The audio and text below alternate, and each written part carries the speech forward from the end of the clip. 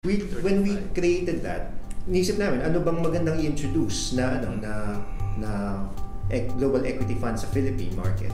And we saw that opportunity on a strategic, like on a long-term perspective. Might as well introduce that. O, Kasi big time lang yun ng tech eh. Yeah. Yeah. Facebook, TikTok, ganyan. TikTok!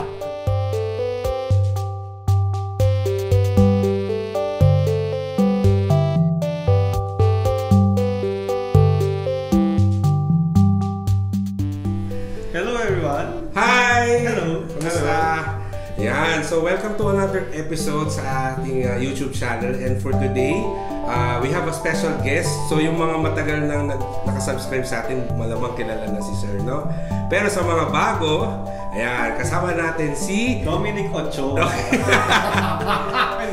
Hindi, biro lang. So, it's also with a D. Yan. Ah. Si Sir Dexter Agkawili, Hi. Investment Solutions Director of AXA. Ayun. So, welcome, sir, sa ating ano, show. Say Thank you. hello to our audience. Hello, good morning o ba? Good afternoon? Good morning. day. Good, day. Oh.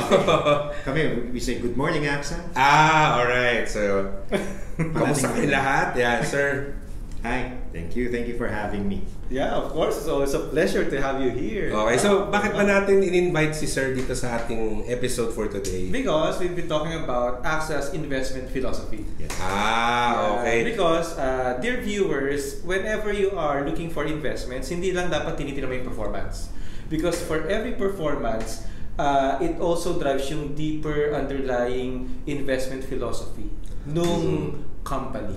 Yan, lagi nating ano yan eh, lagi nating nami-mention, I, I remember na may nagtanong sa atin kung itong mga mutual funds na to, Mm. or mga investment funds, lahat naka-invest sa Philippines, bakit iba-iba yung performance? Mm, mm. So aside from the skill of the fund manager, a part of it is also because of the investment philosophy. Like for example, yung mga ibang fund managers dyan, typically conservative yan. Di ba? Yung iba. Yung iba namang fund manager medyo on the aggressive side. So mga stock picks and Malakas ang choices. loob. Malakas ang loob. So may kita mo yung performance nila. Pag up ang market, malaki. Yes. mataas. Pero pag down ang market, medyo Sobrang- ano sila.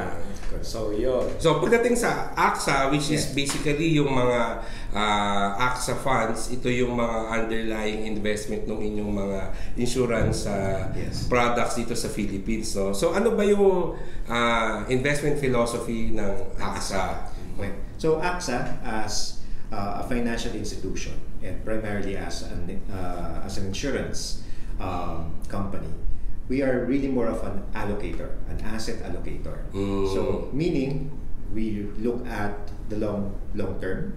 Uh, we have what we call a strategic asset allocation. So bago kami mag-create ng fund, determine namin, okay, ano bang uh, purpose nitong fund na to? Anong maging strategic asset allocation yan? Mhm. Tapos, syempre, meron yung, uh, kumbaga, leeway na pwedeng mag-tilt towards one asset class. Uh, yun yung tinatawag natin tactical allocation. Pero main point is that we mainly look at yung sa namin, yung strategic asset allocation. Asset allocation. Ano ba yung strategic asset allocation? Sorry naman. Okay.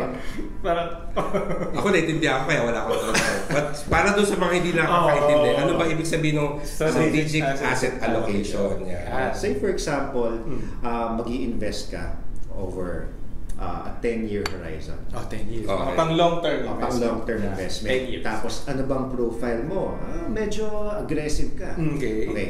Now, usually we would arrive at what we call a long-term asset allocation or Mm. what we call a strategic asset allocation. Na Mm. kung may goal ka over the next 10 years for you to meet that and given your appetite, Okay.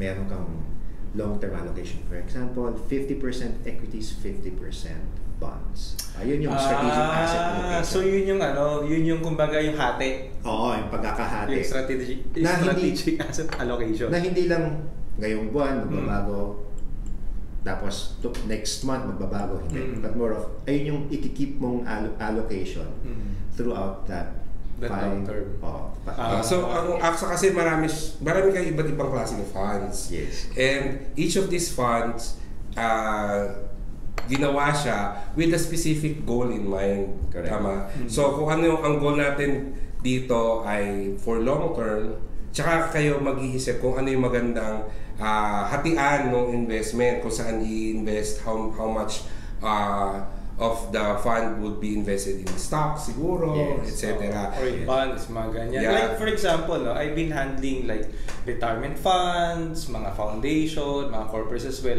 Typically, ang nakikita kong strategic asset allocation na or SAA is 80-20. 80% fixed. 80% fixed income, 20% equities. Mhm. Yun. Para sa retirement. mga retirement fund, Mhm. foundation, mga school. Ah. Kaya 80-20 typically yan. So, minsan pag pangat ng stock market, medyo sa 79, 73, 77, but talagang bumabalik sila dun sa 80-20 nila. So, that's their Mm. SAA or Strategic Yes. Asset Allocation. And uh, when it comes to AXA, sabi niyo sir kanina, na you are primarily an allocator. Yes. Isa sa mga talagang strength ninyo is yung alam niyo kung paano siya hahatiin, no? Mm. Yung mga investment funds nyo na ilang percent dapat ang ilalagay dito, ilang percent dapat yung ilalagay dito. Correct. Yan. And yung pagiging asset allocator, hindi lang yan here in the Philippines, but rather globally, yun yung talaga. It's a global investment philosophy. Globally? It's a global Ah. investment philosophy. Galing. Ay, So, hindi lang local, global pa. Mm, ah, ina-apply nila yung principle na yon. Consistent, kumbaga. Consistent. Consistent. Oo. Okay. Hindi lang siya sa Pilipinas ginagawa, but Why it's global? actually... Sige, question. Why do you also go global? Kasi di ba sabi na, Philippines is, you know, one of the highest uh, performing, like like last year, second Mhm. highest performing ang Philippine stock Ah, market. really? di ba? And for the long term, we're one of the highest uh, growing economy in the world. So why go global? Good good question. Dahil, well, kung titignan naman natin Mm. yung Philippine market, hindi naman yan consistently nagbibigay ng 8% or 10% Mhm. a Yes. year. di ba? Oo. So may mga pagkakataon, bababa yung negative yung return natin or flat. Yes, Mhm. true. At mayroong mga opportunities outside. Like last 2019, Mm. Nasdaq 100 was up 35%. Nasdaq? Ano yung Nasdaq? Yung sa US, sa US. di ba? US index. of course I know that. Pero sa US. So, Ah. may, may mga opportunities outside. And Ah, okay. sayang naman kung nat, nakatenga ka lang sa isang uh, investment or kunyari, Right. tinitignan mo lang Philippines. Oo. So, dapat imulat natin yung mata ng investor na may opportunities outside. How much did Nasdaq ano, give last year? Around 35%. Oh, not bad ah. Mm, 35%. It's the best performing index, uh, Oo. equity index. Kasi if I remember it right, parang sa best performing mutual funds natin, pinakamataas na na-release na sa 5%. Oo. Mm. Kasi, di ba, ang doon sa fund performance uh, review natin for 2019, Mm. ang pinakamataas ay yung mga fixed income Fixed fund funds, income. which is around 11%. 11-10%. Yung pinakamataas. Oh, but even the Nasdaq is 35%. Oo. Wow! So, Although, tignan natin. does it reflect sa mga AXA funds? Uh, magkano, ano ba yung Good question. ano ba yung fund performance ng AXA last year? Last year. Okay. So, ano, equities muna tayo. Oh, Okay, equities. sige, Mga equities. So, for our equity funds, we have ayun, Teka, ano tong equity? Equity global, regional, o local? Oh, so, local. Philippine, Local, Philippine. local, Oo. Philippine equities muna tayo. So, Yan. ang AXA is actually known for our Chinese Tycoon Fund. Yes, Mm. yes. So, this is an actively managed fund and uh, primarily invested into Chinese-owned and controlled companies here in the Philippines. Mhm, mhm. So, yung mga, Mga pogo ba yan? Hindi. Oh, hindi, wala. Hindi, hindi, mga Filipino- Filipino-Chinese. Filipino-Chinese Yeah. companies. Alright, so for last year, 2019, it gave a return of 6%. What? Net of fees. Ah, net, not of, bad, ah. net of fees na yun, net of asset management fees na yun. Ah, ah. okay. Uh, considering our um, index would be around bit- Five. 5%. Five-ish. Yeah. Oh. Yung si index may fee na ba pa. Ah, net. Net, Net net lang. Okay, so Not at least on 6%. That's that's uh, that's where the investment philosophy comes in of an actively managed fund Mm-mm. na kaya niyang then ma-outperform ang index. Yes, And yes. that's Oh, our kasi fund. meron kang ano dun eh, di ba yung fund manager, parang pwede niyang, oh, pag mataas sa market, pwedeng, ah, ano ako, medyo magdidiga ako ng ano, ng medyo Mhm. mas marami equity. Tapos pag magre-retreat ang market, pwedeng magbenta siya. Tapos para pag bumaba yung market, hindi siya bababa. So, Yes, yes. Ah, yeah. So, yeah. So that's for our equity fund. Sa, Now, for bonds naman, for our wealth bond fund, last year it's uh, 16.5%. 16. Yun ang pinakamataas na narinig ko. Kasi Oh, di ba last fixed year, income. oh, sa fixed income, 10. 11, 10, no? 11. Yung mga ano, UITF and mutual funds, Yes, no? yes. Oh, not bad ah. Yeah.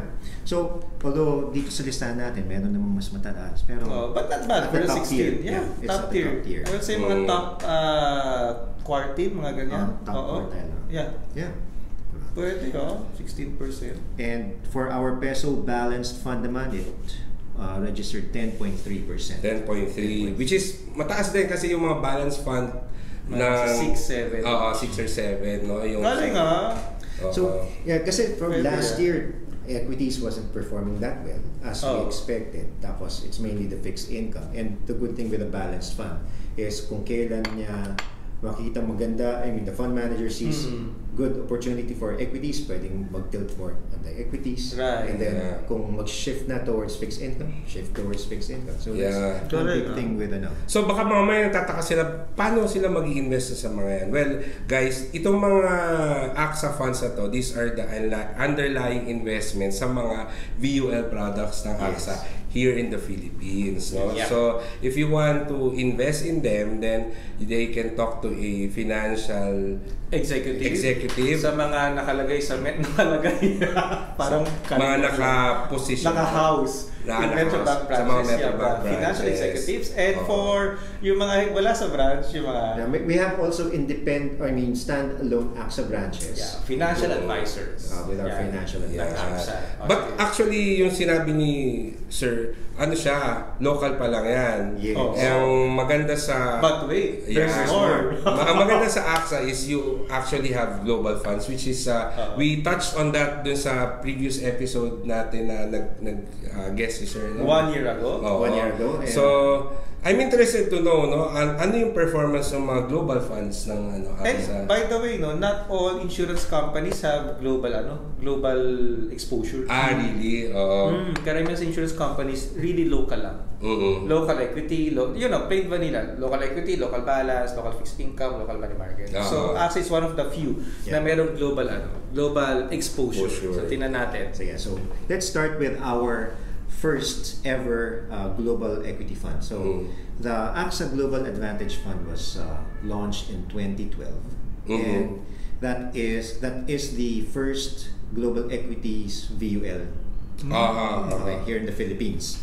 So uh, last year it did 35.2. So that's 35? Yes. Last year, Ito sa, yun. last year yun ah. Last year. One year lang. 2019. Talaga, just for one 25%? year? Yeah, 35%. And if we're going to look at its average for the past five years, it's 12.8% Not bad. Mm. per annum. But this is peso or dollar denominated? This is dollar denominated. Dollar That denominated. Mataas yun kung dollar denominated yun. Oh, maski bumili ako ng peso, no? Kita pa rin ako. Ay, Kasi locally ah, the, the best performing dollar denominated na investment fund Six. or UITF for mutual Oo. fund, oh, mga actually mga 3 to 4% na. Yeah. Although I don't want to sell returns, but more of, I think dapat ma-appreciate natin ano ba yung underlying investment. Yeah, para sa akin it's it's uh, It speaks of the investment philosophy. Yes, so it, Oh. it, it gives us uh, proof na that kind of investment philosophy works and the strategy of being uh, may may core competency ka sa core competency ka sa allocation so Yeah. how you allocate the funds of the ano Correct. so that's uh, a very good uh, So our Global Advantage Fund, um, since 2012, nung kinlate namin yan, we selected the NASDAQ 100. Ito yung, Mhm. Mm. uh, so US, tech companies mainly ang ang uh, investments yan. So tech did good ah. Yeah. So we when we created that, nisip namin ano bang magandang i-introduce na ano na na e- global equity fund sa Philippine market. And we saw that opportunity on a strategic like on a long-term Mm. perspective. Might as well introduce that. O, Kasi big time na ngayon ng tech eh. Yeah. Yeah. Mhm. Facebook, TikTok, ganyan. TikTok. Alam ko yun. Pero wala yun. Oo. Kasi wala sa Nasdaq pa yun. And then Okay, ano ba meron tayo next. dyan? So we have what we call regional funds. So we have our Uh, ano Region 1, Region 2, gano'n. Ah, pwede. Pero ito naman. Hindi. Kalamparan Hindi. Ah, So, ano yan? uh, nung nag-launch kami ng mga funds, we started with more regional funds. So we have uh, uh, AXA Asia Growth, focusing Mm. or investing in Asia. Ah. And then we have our AXA European Wealth, focusing on Europe. So for our Asia Growth last year, Dalawang. it's 13.7%. Which is not bad. Not bad. Oo. diba? And for European Wealth, that's 21.8%. Dahil nag-recover ang Europe. Yeah, Nag-recover ang yeah, right, Europe. right. Ah. So, did good. Ah, so, uh, one good thing with Europe for the past two years has been registering re- a good recovery. Mhm. Yeah. And uh, for our latest, yung um, our global fund, since uh, or we call it the AXA Global Dynamic Allocation Fund, growth, which is primarily equities. Mhm. Um, it's invested across five major regions. So Ah. like US, Europe, um, Asia, Japan, and emerging markets. Yes. Okay. So of all of all of all of our four equity funds, this is the one that is actively managed. Mhm. So Mhm. it registered 21.8 then. So Mataas. Mataas. Mataas. Neto na to. Net return. And the Okay. difference of this fund compared to the first three funds that I mentioned is that it's not tracking an, an index, but it is actively managed and volatility or risk managed. Meaning, Okay. we try to avoid kapag pababa na fully invested, it's then rebalance periodically to ensure na pag pababa ang merkado, hindi siya Hmm. bababa ng kasing ganong lakas. Mhm. Okay. Pero kapag pa-rally na yung market, we get to rebalance on a timely manner para ma-maximize yung opportunities. Which is the advantage of an actively managed fund. Yes, Kasi pag yes. actively managed, again, sabi ni Sir Dexter, kapag, yun nga, parang you get to time the market, di ba? Eh pag passively managed like index funds, kung 100% kunwari equity index ka, pag baba ang market, 100% equity ka pa rin. So, Mhm. ang baba mo is as much. Yes, Yun. yes. And Ah. important also yung yung how broad or gaano kalawak yung pwede mong pag-investan. Mhm. Like, pwede kasi tao ng Europe. Oh, hanggang Mars ba to? hanggang Mars? hanggang Earth lang tayo. Hanggang Earth. Okay. Okay. Pwede kasi down ng Europe. Saan mo ilalagay pera? So, pwede kang maglagay sa emerging markets. Ah, Yes, yes. oo. May nagre-recover so, ng kumbaga Japan. yung scope mo. Mm. Hindi ka tali sa isang region lang. Yes. So flexible. Which is the strength of an allocator kasi alam niya kung saan tama ilagay na lugar, Oo, no? region or ano. Oo. Yeah. So kung inaalat ka na sa Pilipinas, oh, di mag-Japan tayo. Uh, doon naman tayo sa balanced fund. Balance. Okay, so meron din kaming global uh, uh, na balanced fund. So this is the AXA Global Dynamic Allocation Fund, multi-asset. Napaka-dynamic yun. Oo, di ba? Uh, Hindi, of course. Sasaka ka pa kung ano, yung- ano binibili mo, yan na yun. Oo. Hindi, again, no, as AXA is an allocator, talaga, they really wanna see the opportunities. Kaya Mhm. sila dynamic. Yung hindi ka lang static na, ah, dito lang ako, Japan lang ako, or US lang ako, di ba? So, yun nga, advantage is that you go where the value is kung saan paakyat yung market. Mhm. Oo. Sige, tinan natin. So for balanced fund, it's uh, 16.7% for Not bad, 2019. Yeah. Galing. Kasi ang advantage nga niya is Mhm. Pwede siyang mag-shift from fixed income to equities or vice versa. Tapos different regions as well. Mhm. Mapa Asia, Europe, Mhm. US, kung saan yung opportunity. Tapos kung Mhm. fixed income naman, corporate bonds ba? Mhm. Or government bonds May ba? sovereigns din to. Merong sovereigns, yeah. Oh. May sovereigns, may Sovereigns yung mga ini-issue po ng mga bansa. Yes. Yan. Ng mga governments. Yan. So again, no, um, these funds, if you want to invest in them, then they would have to uh, inquire on the VULs, no? Yes. Oo. Mhm. mga investment-linked uh, insurance na AXA. Mhm. And it's a, it's good to know na marami silang option kasi Oo, hindi lang pala Philippines. Oo, Ang no? option natin, there's ano, there's a bigger world out there. Yeah. Yes. Pero may tanong ako, Yes. would there come a time na we can invest In directly in this in these funds? Wow, magandang tanong yan. Oo. ah. Oo. Oo. Kasi what if ano na ako, I, I already have enough uh, insurance coverage, no? Yes, yes. So Ako may sagot ako dyan. ano, Yes. No. Through the single pay. magsi-single pay VUL sila, Mm. pwede. Magkano ba no? yung single pay uh, uh, VUL, uh, if, I, if we may ask? Ang minimum. minimum. Minimum is 100,000. 100,000 1,000 dollars. Pesos Ah, may dollar. 2,000, 2,000 to- dollars. or 2,000 dollars. Oo. So guys, kung gusto niyo na kung gusto niyo mag- 100,000 pesos, Oo. not dollars. So kung gusto nila mag-invest dito sa mga uh. AXA funds Oo. and they don't really want yung the usual VUL na monthly or yearly binabayaran Oo. or they're already adequately covered by their life insurance Mhm. Policies, then they can check out yung mga single pay Single pay. VUL, Kasi with the no? single pay VUL, uh, practically almost everything is na-invest mo. Siguro may Yes. mga premium shares lang yun ng mga like 2%. Yeah. Minsan mas malaki yung ini-invest mo Oo. the lower the ano, di ba? Tama ba? The lower the premium, Premium shares. The, yes. the lower the premium Oo. shares. So for me, no 100,000, kung may 100,000 kayo dyan, then consider this one. Mm. Oo, lo- lalo na kung for long term. No? Oh, lalo na kung Yeah. pang long term 100,000. Saka, good thing about them is that, again, no, kapag kasi pag Philippine lang yung exposure mo, then you are exposed to country risk. Mm-mm. Yeah. Ibig sabihin, kung ano mangyari sa Philippines, pag bumaba Philippine stock market, imagine, kung Philippines ka lang, tapos equities, 5% ka lang last year. Mm-mm. Eh, but if you have the, what, ano yun, yung 35% natin, Alak, ang galing no, no? 35%. Oo, the AXA Global Advantage Fund. So if I have that, so hindi ako tali sa 5%, pero around 35%. Mm-mm. Mm-mm. Or kahit sabihin natin ano, balance fund ka lang. Oh yeah.